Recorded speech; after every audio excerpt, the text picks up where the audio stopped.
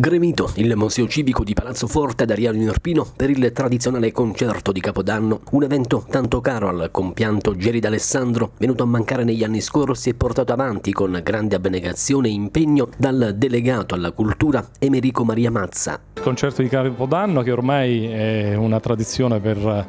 la città di Ariano e per Classica Ariano questa sera si rinnova con un concerto di eh, elevato valore artistico e di grande importanza con l'orchestra del Kazakistan, con il tenore Aldo Caputo che è al suo ritorno qui ad Ariano e che diciamo, conosciamo bene quanto valga la sua voce e con una pianista straordinaria che si esibirà nel concerto 1052 di Johann Sebastian Bach. Un appuntamento con eh, molti brani, lungo per tutti i gusti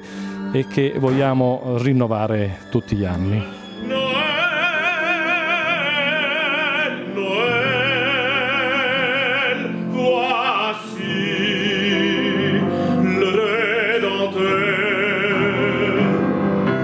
Andremo avanti fino al primo di, mm, di maggio